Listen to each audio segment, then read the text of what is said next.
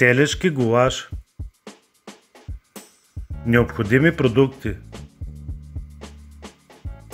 700 г телешко месо от плешка.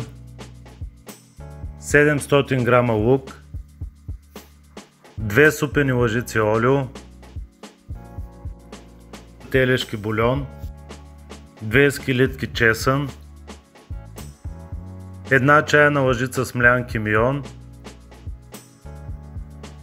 една чайна лъжица суха майорана, една чайна лъжица настъргана лимонова кора, една чайна лъжица червен пипер, сол, черен пипер на вкус. Начин на приготвяне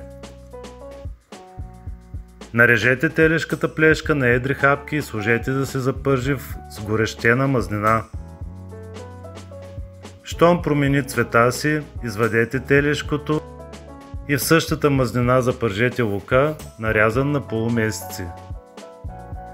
След няколко минути върнете месото и долейте горещия бульон, който трябва да покрие напълно месото.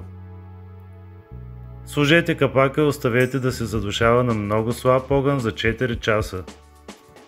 След като минат 2 часа и половина махнете капака –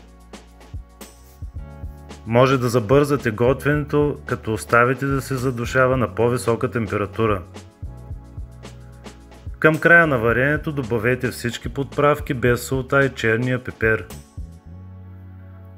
Оставете да се готви още 10 минути, снемете от котлона и овкусете с сол и черен пипер. Да ви е вкусно!